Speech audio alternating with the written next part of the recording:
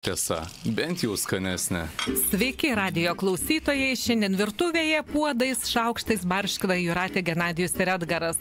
Na, iš tikrųjų, tai ne tik barškinsim, bet ir valgysim ir plėpėsim ir kalbėsime šiandien apie mokytojų streiką. E, Nes aš kažkaip manau, kad e, tikimybė, kad ir atsiras daugiau reikalaujančių didesnių atlygių yra nemaža. Ir ar įmanoma, kad viešoje sektoriaus darbuotojai uždirbtų daugiau? Na, kita mūsų patikalo tema, tai pa, patikalas mūsų, tai pokalbis apie busimuosius prezidento rinkimus. Ir jau girdim kai kurias pavardės ir kokie mums prezidento reiktų, gal mums reikia tvirtos rankos, ar ne? Ir, de, ir desertas, štoji, Genadijai, ir desertai, de, desert pasisveikinti nori žmonės, aš taip užkalbėjau iš karto. Barškėt pradėjau. Ir desertų sportas. Na, o dabar Genadijus ir atgaras. Nu, Labą dieną. Labą dieną. Pasisveikinam galų galę. Galų galę Šefė leido. leido išbarškėjau. Tai ir, ir, na, sakykim, kažkaip tokias temas pas pa- pasirinkau, pagalvojau, kad nu, reiktų padiskutuoti, kaip mūsų čia tas viešasis gyvenimas atrodo, bet, bet nu, toks jausmas, kad visų aplinkui mus taip spaudžia tokie populistiniai ar ne dalykai. Čia vat, ir su Genadiju prieš tai apie Slovakiją šnekėjom rinkimus ir, ir mūsų toje rinkiminiai pa- padangė tokių populistų nemažai ar skamba populistinių šūkių. Kaip Jūs vertinat tą? Tai man atrodo ne tik tais, kad Slovakijoje, Junktinės Amerikos valstijos, man tai, kaip, kai aš visą laiką galvodai, taip, demokratinė, demokratinė valstybė, nu, gal, galima vadinti ir pasaulio policininkas. Ir kai vyksta tokie procesai, nu, tai tada pradedi galvoti, kad čia viskas labai trapu yra. O taip, Edgarai, tau netrodo, kad aš- populistai šliaužia per... Dėl Amerikos tai man ramu yra. Iš, iš esmės yra labai geras sinas toks e, kaip interviu, gal kaip paskaita tokio buvusio aukščiausio teismo e, teisėjo, pirmininko Amerikos An- Antonino Skalijos e, pasakymas, sako, konstitucija Sovietų sąjungos gal buvo net geresnė negu Amerikos. Bet problema, kad valdžia vienose rankose. Tai Amerikoje, kai yra valdžių aiškus padalymas, tai ne, aš tai ten nematau jokių problemų, ten, kad tenai ar Trumpas yra grėsmė demokratijai. Nu, pabuvo Ne- ke- keturis metus. Ne, Ką? tai demokratijai tai Ir nėra, nieko. bet tik tais tiek, kad mes visi įpratę, aha, dėdė Semos čia pagelbės ar ką. Ir vad, kai Trumpas buvo, pažiūrėkit, ta pagalba kažkaip šičia iš to kažkokio ten Bet klimato Amerika- bet- kaitos išėjo dar kažkur, dar kažkur. Bet Amerika, matai, tai yra prezidentas kaip vyriausybė, net jinai pas juos yra, yra vie- vieni rūmai, antri rūmai, daug labai teismai vėl atskirai, tai daug...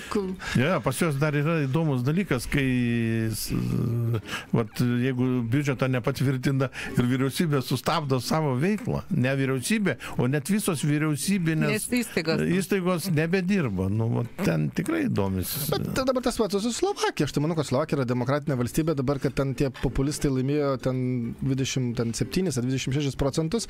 Tai bet kokiu atveju, ką, ką tai ir sako. Koalicija Reikės, kad būtų koalicija, reikės, kad būtų susitarimai. Nebus taip, kad ten Ne, ne. kažką nuspręs ir dabar vat, Slovakija tenai... Nu, Bus nedemokratas. Tai Ar ten pasakys, kad Kažkokia. tenai ne, Ukraina daugiau. Ne, tai plus tai sakau, čia tik tai viena valdžia pasikeičia. Pats e, teismas išlieka, ten prezidentas išlieka. Nu tai štai nematau čia problemos iš tikrųjų. Nematot pavojų. Ne. Tai gerai, tai šiandien valgysim vištienos ir daržovių troškinį ir po pertraukėlės e, Juratė Genadijus ir Edgaras kalbėsis apie mokytojų streiką ir apskritai apie visą vie- viešąjį sektorių. Ką reiktų daryti, kad gyventų jie kitaip. Reikia verslą skatinti, kad daugiau į biudžetą mokėtų. Pinigų. Tai galėsim Čia pajokaudamas. Nepajokaudamas visai teisingas, e, teisingas viena krypčių, viena, viena, viena, iš galim, viena iš galimybių. Einam valgyti.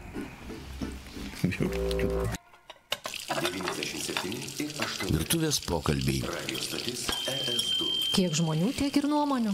O virtuvėje tiesa, bent jau skanesnė.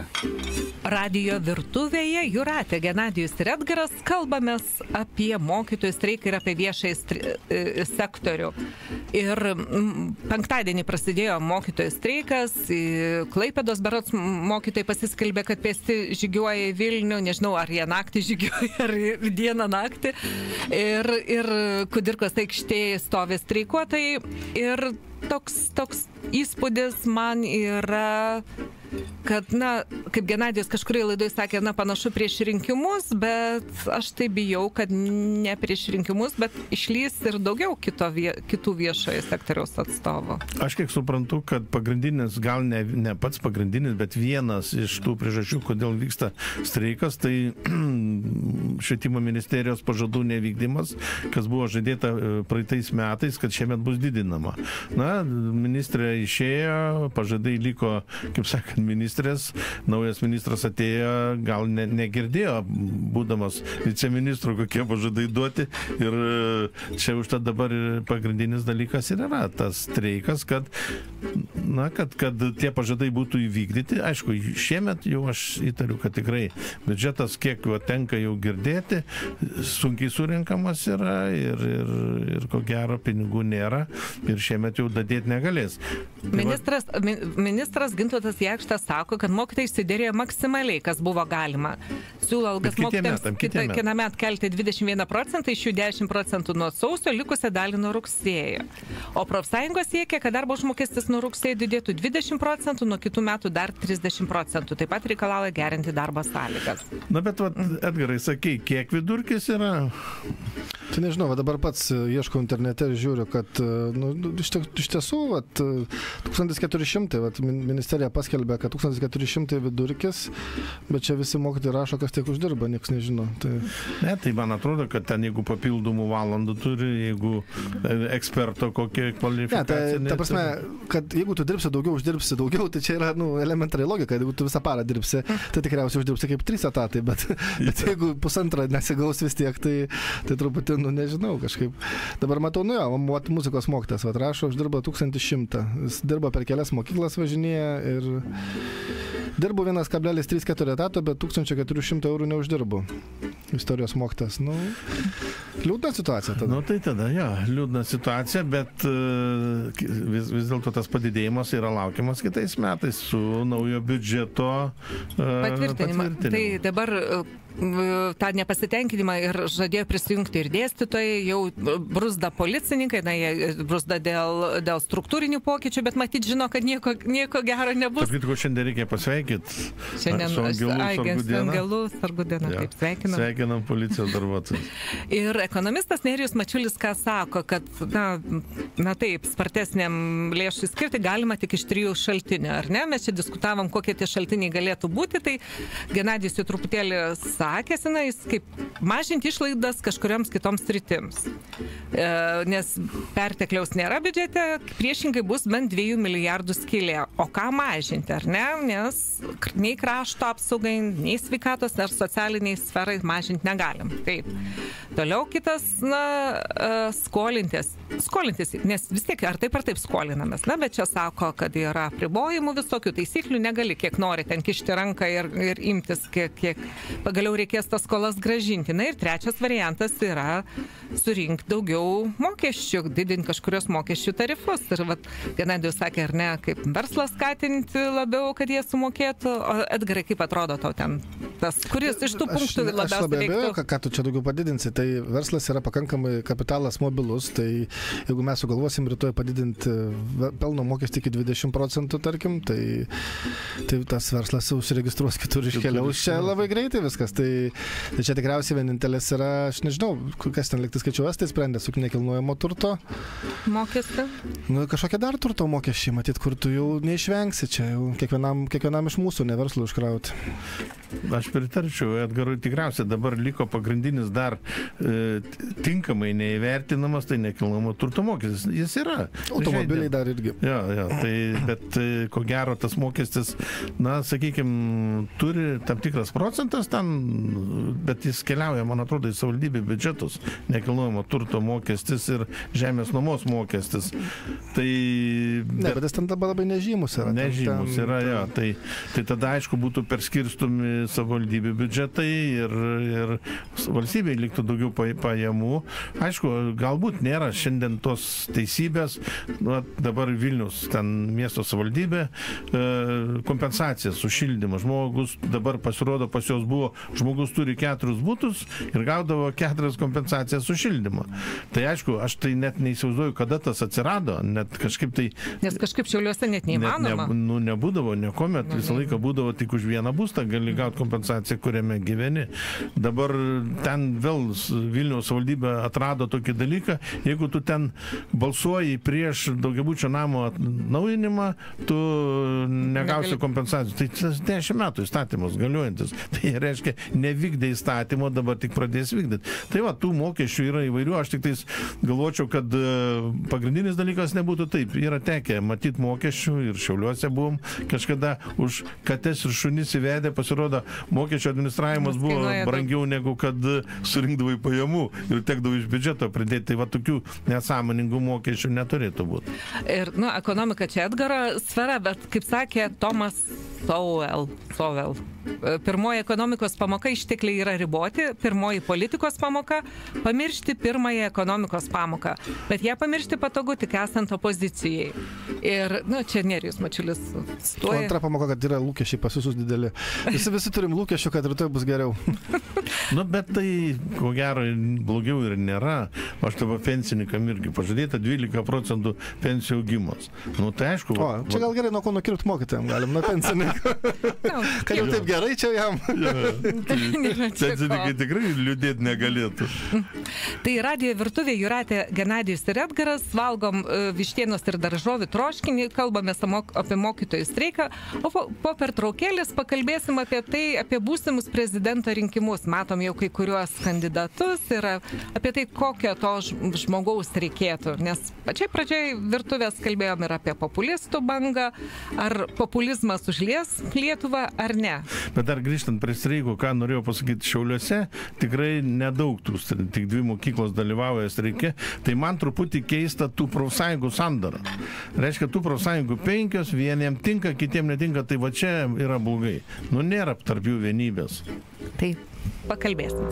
Reklama. Virtuvės pokalbiai. Kiek žmonių, tiek ir nuomonių. O virtuvėje tiesa, bent jau skanesnė. Radio virtuvėje Juratė Genadijus ir Edgaras valgome daržovių ir vištienos troškinį ir kalbamės apie kandidatus į prezidentus, nes jau girdime vieną kitą pavardę, jau Sofos politologai juos aptarinėja, tos kandidatus ir, na ir kaip tas vaizdelis atrodo. Konservatoriai bando, bando, bando irgi dėliotis, kas čia jų bus kandidatas rinkimuose. Ką jūs matote Nu, šitame tai peizaže? Pirmiausia, galvoju, kiek jų bus, aš galvočiau, koks 12 tikriausiai jų bus tų kandidatų į prezidentus. Nu, taip dažnai ir būna apie 11 virš 10. Aišku, realių bus 2-3, kurie gali pakovoti dėl bal, žmonių balsų. Na, Na, kas realiai yra pasisakęs Veryga, kad kandida- Veryga. Nu, bet kandidatuos. čia vien dėl to, kad partija liepia, aš labiau įtariu, e, nausėda irgi, man atrodo, jau pradėjęs rinkiminę, Vigelė irgi pradėjęs rinkiminę, nors dar nepasakė. Tai aš dar nežinau, ten tų vadinamų marginalų gal Tai dar. skvernelis tikriausiai. Skvernelis ne. Skvernelis ko gero ne.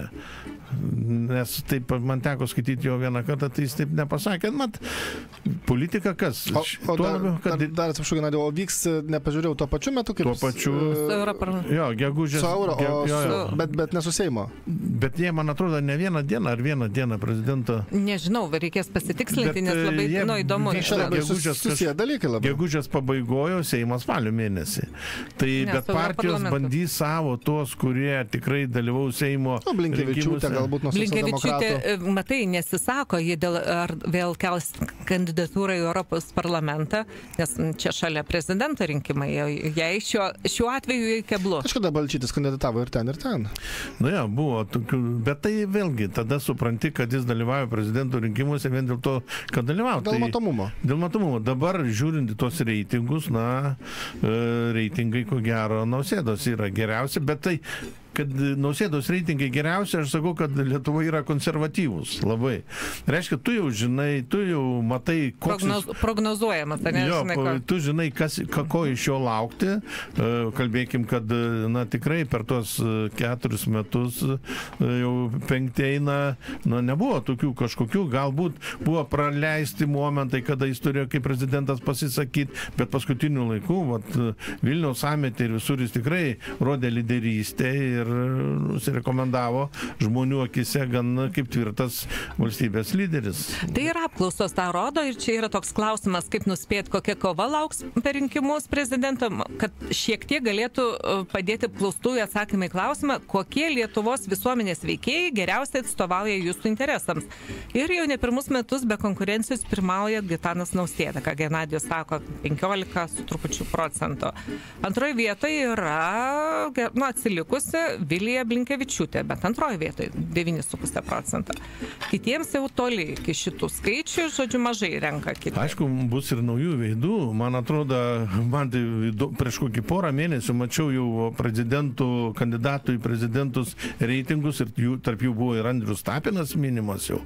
Bet e, ar jis dalyvaus nepasakė, bet tai, kad naujų veidų pasirodys, tai tikrai bus tuose rinkimuose, aišku, šiandien. Bet... Įdomu, iš tikrųjų, Šiaulėtė Čmilytė dalyvaus. Tai Aš tenai galvoju, e, su kad jie- reitingais. Apskritai, kas bus iš... Galim perbėgti per partijas, kas mes dabar turim valstiečių, kad žinom, kad veryga, kas dar iš kairės pusės. Jeigu iš kairės pusės nebus kandidato, kaip tu sakai, Darbo partijos, bet dabar girdėt, Skvernelis, ne, socdemai, neaišku, ten ar su Bilinkievičiu, tai gal žiūrėk, veryga netaip ir blogai atrodys tada visam. Nu, bet e, jie turi savo rinkėją ir tas, e, žiūrėkit, rinkimus dažniausiai nulėmė Kaunas Vilnius, didėjai miestai, kai jau jų rinkėjai su- pateikė savo balsus ir, ir o jų tų miestų rinkėjas labai aišku, ką Aš palaiko. nemanau, kad partija ar, ar, ar pats Veryga savo kelia tokį uždavinį, kad laimėt prezidento rinkimus. Ne, Jam, ne, ne, jam ne. didžiulė bus pergalė, jeigu jis papuls antrą turą. Tai, čia tai kad ir į antrą turą, tu mobilizuoji partiją. Žiūrėkit, baigęs tie rinkimai, jau prasideda rinkimai į Seimą, viskas.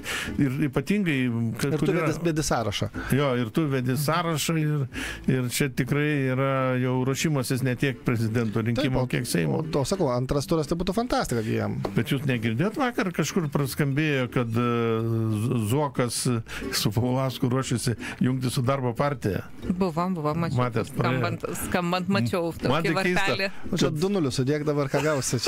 Aš vieną kartą per mūsų liberalų centristų irgi jungėme su kažko. Ir aš kaip skiriaus pirmininkas pasakiau, sakau, tai nulį pridėkit prie nulių, ką gausit. Tualetą. tai aišku, labai įsižeidė visi ten buvo. Ir beje, tai pačiai apklausoj, e, taip, kai kurie politologai gerai vertina kaip stiprų kandidatą į prezidentus e, advokatą Igną Vėgelę, bet toj pačiai apklausoj tik pusantro procento apklausos dalyvių mano, kad jis jiem geriausiai atstovauja. Bet aišku, čia nebuvo suformuluotas na, neto, netoks klausimas, bando nu, rasti analogiją pagal apklausą. Ir aš dar vieną apklausą radau, man labai įdomi pasirodė. Čia europinių lygmenių ir buvo apklausta daugiau negu 33 tūkstančiai respondentų, o 1659 Lietuvoje, sakyčiau, labai didelė imtis ir, ir apie ką yra ji, dėl ko mane nustebino. Ir nu, buvo klausimas vienas iš tokio uh, klausimų, ar būtų priimtina, jei šalis, kurioje gyvena, turėtų stiprų politinį lyderį esantį aukščiau įstatymo. Tai yra autoritarinio tipo lyderį. Lukašenka antrą. Tai, nu, va toks klausimas. Ir, ir žodžiu, uh, duomenys rodo, kad toks palankumas yra vidutiniškai siekia net 4,30 30 šimtasias balo.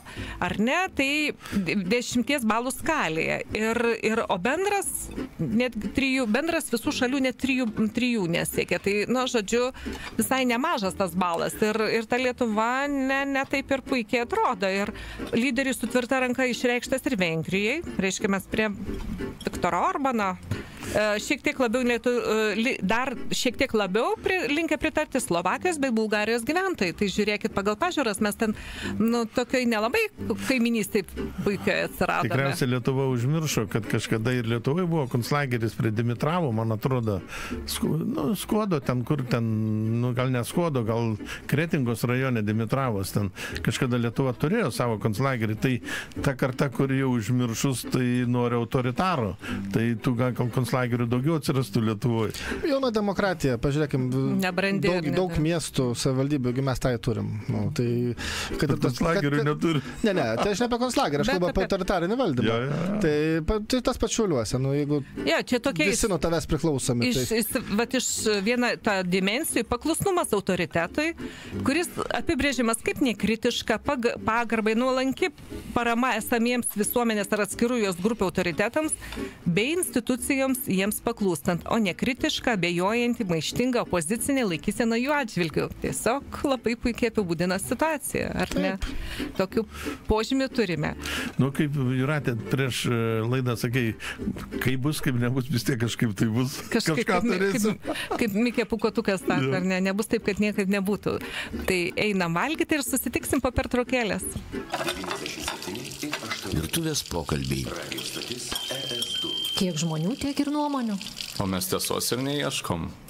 Radijo virtuvėje Juratė Genadijus ir Edgaras kalbėjomės apie mokytojų streiką, diskutavom apie pretendentus į prezidentus ir ar lietuviam reikia tvirtos rankos a, valdžioje. Ir, ir dabar ta, perinam prie tokio savotiško deserto, nes Tai gal nuo futbolo? tai jau čia dabar jau jūsų valia. Ja, vakar įvyko taurės e, Lietuvos futbolo federacijos taurės e, finalas. Šiauliai žaidė su Vilniaus rajono komanda. kaimo ten kažkokio Kaimo, registruota kaime su 70 gyventojų. Bet Edgarai, tu matai pavadinimą, ne? Transinvest. Transinvest. Tai reiškia investuotojas rimtas ir ta komanda pirmoji lygoje, jin p- yra pirmoji lygoje, žemesnėje lygoje. Nu, antroji lygoje. Jo antroji lygoje yra pirmoji vietoje ir jau atsiplėšė ir jie tikrai papuls ko gero į tą pirmąją lygą, kur šiauliai žaidžia. Tai reiškia, komanda tikrai, na, Nu, investuotojai. reikia pripažinti, kad daug geriau žaidė. Aš, aš žiūrėjau jo, truputį tai ten, kad... Na, ir, nelabai- bet 1-0 pirmavom, pirmavom, 1-1 ir pačioj pabaigoje 2-1. Gaila, bet aš tik tais dar vieną dalyką nežinau, kaip čia bus sprendžiama. E, Liktais nu, taurės nugalėtojas turi dalyvauti Europos kažvienam Taip, taip. iš tų turnyrų. Bet ten tam turnyrė yra vienas iš reikalavimų, kad komanda turėtų, e, būtų egzistuotų 3 metus. Šitą komandą e, Vilniaus to kaimo, Vilniaus rajono kaimo mokykla, tai komanda, komanda neturi trijų metų, tai galbūt ir šiauliam dar lieka šansas, jeigu tikrai nebus kažkaip tai susitarta kitaip. Ne, bet reikia sportiniu būdu laimėti, o čia, kad žinai, per tokius, visokius įkurtą, neįkurtą. O taip šiauliai davo pakol kas trečioje vietoje, bet Hegelmanas lipo ant kulnų ir jeigu prarastumėm šansą taurį, kažkokio tai Europos taurį, tai būtų gaila. Nes čia atsiranda vėl kiti pinigai, atsiranda kitos galimybės ir ta komanda yra galimybė stiprinti labai stipriai. O man tai gražu, kad Šiaulių futbolas turi tiek daug sirgalių, ar Jo, ne? labai kaip gražu buvo, eisena, jo. krepšinis, na, tik nebega, negali pasigirti Ne, šiauliečių. tai sirgalių yra ir krepšinio sirgalių, gal netoks didelis. Aš tai žinau, kad pa- vieną tokią išduosiu paslapti, kur galvoju, Nu. kad e, mes, krepšinis, kas sako, yra antra Lietuvos religija. Tai aš galvoju nieko panašaus. Jeigu mes turėtume stadionų, tai mes suprastume, kad į futbolo rungtynės renkasi daug daugiau Taip, žiūrovų negu į krepšinio.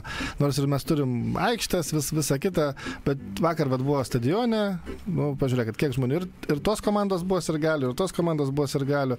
Ir dar jos, skaitykim, ne vietinės, ne, ne, ne Kaunas. Būtų koks Kauno Žalgeris žaidęs, tai gal stadionas būtų Taip, pilnas. stadionas ten 40 tūkstančių. atrodo. 20. Ai, 20 tūkstančių. Nu, tai Nu, iki apie 20. 10 tūkstančių gal buvo, daugiau tikrai nebuvo, nes matęs daug laisvų vietų. Nu, bet jau įsivaizduok, kas yra 10 tūkstančių. Ne, čia, nu, tai, čia Žalgeris biliet- Eurolygoje. bilietai, Jo, jo, jo. Jo. Jeigu taip žiūrėt krepšinį, tai Visai kitas pajamos. Taip, Užtat taip, ir- futbolė, užtat futbolė sukasi kiti pinigai. Na, dar grįžtant prie krepšinio, šiauliai buvo išvykę į Lenkiją, ten žaidė Šiaurės Europos tam turnyre.